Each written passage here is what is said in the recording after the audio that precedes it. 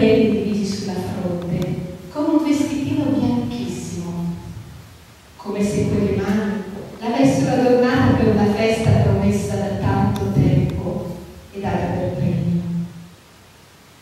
La teneva giacere, ma sorretta a sedere su un braccio, col petto appoggiato al petto, come se fosse stata viva, se non che una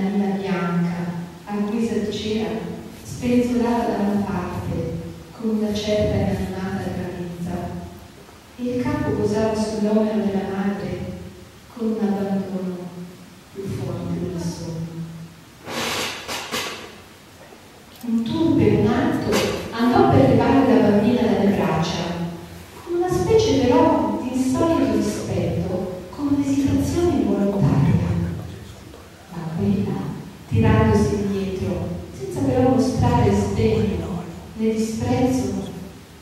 no, disse, non me la toccare per ora, devo metterla io su quel carro. Prendete. Così dicendo aprì una mano e fece vedere una borsa e la lasciò cadere in quella che il monato le tese. Poi continuò. Permettetemi di non levarle un filo d'intorno, né di lasciare che altri ardisca di farlo e di metterla sottoterra così.